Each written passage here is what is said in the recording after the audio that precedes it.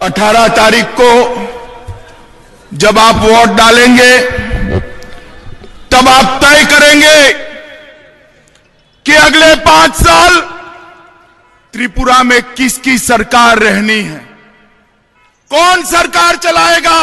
25 साल तक त्रिपुरा को लूटने वाले, कैडर के नाम से लूटने वाले, सीपीएम की सरकार होगी या भारतीय जनता पार्टी की विकास करने वाली सरकार होगी। मित्रों, ये संशय जो दिल्ली में बैठे हैं, उनके लिए हो सकता है, यूपी वालों के लिए हो सकता है, जो त्रिपुरा में आए हैं, त्रिपुरा में जो घूमे हैं, उनके लिए संशय नहीं हो सकता। मैं अभी मैं अभी भाई कृष्ण धनदास की कॉन्स्टिट्युएंसी से आ रहा हूँ। जिस प्रकार का माहौल देखा है, आपके यहाँ जो माहौल देख रहा हूँ, भाजपा की सरकार बनना तय है।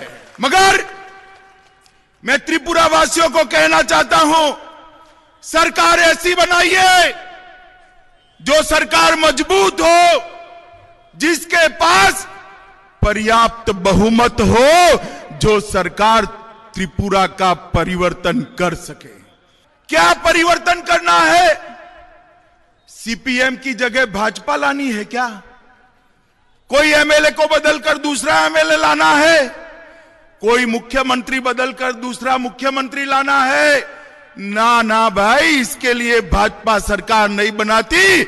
हम परिवर्तन करना चाहते हैं, त्रिपुरा की परिस्थिति में परिवर्तन करना चाहते हैं। हम परिवर्तन करना चाहते हैं। त्रिपुरा के गरीब किसान की स्थिति में परिवर्तन करना चाहते हैं। हम परिवर्तन करना चाहते हैं।